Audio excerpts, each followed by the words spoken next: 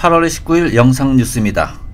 네, 먼저 유타주입니다. 유타주 솔트레이크 시티에서 속옷만 입은 남성이 맥주 회사에서 맥주를 훔치려다 거리로 뛰쳐나왔다는 신고를 받고 출동한 경찰들이 이 용의자를 제압하던 중 용의자가 사망하면서 이 과도한 공권력을 행사한 게 아니라는 논란이 일고 있습니다.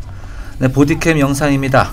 네, 출동한 경찰은 35살 남성 나이컨 브랜던이 뛰어가는 것을 발견하고 그를 잡으려 합니다. 이 브랜던은 경찰 여러 명을 상대로 약 5분 동안 격렬히 저항했고 경찰은 그의 손을 등 뒤로 돌려 수갑을 결국 채웁니다. 이 얼굴을 바닥으로 향하고 있던 브랜던은 숨을 거칠게 내쉬었고 몇 차례 신음을 한 뒤 의식을 잃은 것처럼 보였습니다. 이때 경찰이 그의 어깨를 두드리며 내 목소리가 들리느냐라고 물었지만 그는 응답하지 않았고 결국 병원으로 옮겨진 지 1시간도 안 돼 사망했습니다.